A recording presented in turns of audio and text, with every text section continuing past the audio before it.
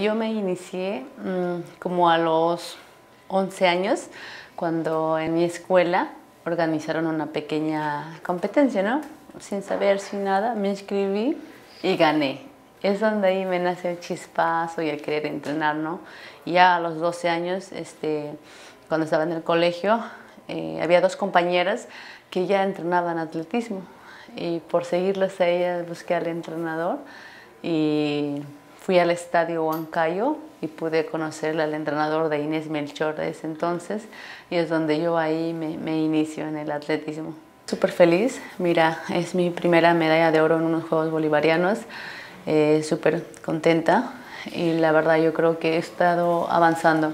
Tal vez he estado avanzando despacio, pero he estado dando pasos firmes y sé que este es un buen inicio para el siguiente ciclo olímpico que conlleva los Juegos eh, Panamericanos de Santiago 2023 y los Juegos Olímpicos de París. Son mis, mis hijas, mi familia en realidad, ¿no?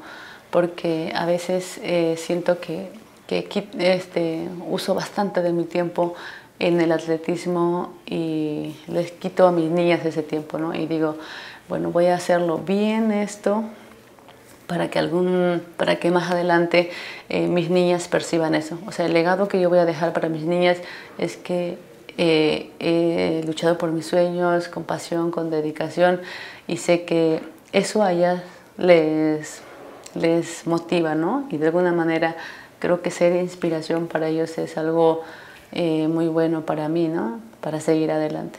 Fue muy bonita y la anécdota es que yo sí fui a dos Olimpiadas, pero es mis primeros juegos, ¿no? Y la verdad no, no, me creían porque usualmente primero se empieza por unos Juegos Bolivarianos, eh, Juegos de Sur, Juegos Panamericanos y de ahí a la Olimpiada. Y en cambio yo me, yo me salté, me fui de frente a las Olimpiadas y ahora como que recién estamos iniciando, ¿no?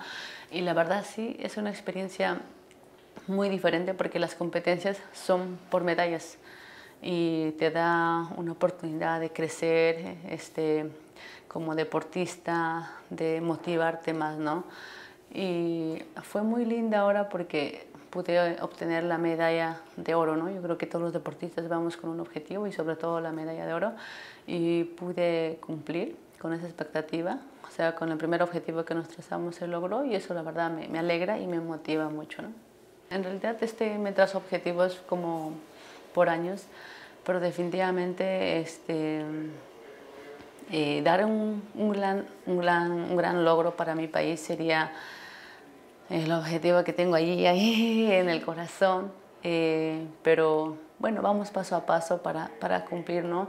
Y yo creo que eh, para cumplir este objetivo es súper importante el apoyo, como te decía, del IPD, de la federación, y lo, lo bueno es en nuestro país es que está creciendo el apoyo de la empresa, eh, de la empresa privada y aún uno no se siente solo ni abandonado.